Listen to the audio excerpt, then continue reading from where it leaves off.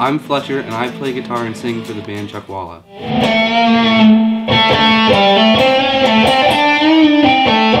My brother plays drums for my band Chuckwalla. Chase records all the drum tracks and plays the drums. My long-term plans as a band are to continue to make music for a long time and hopefully make money off of it.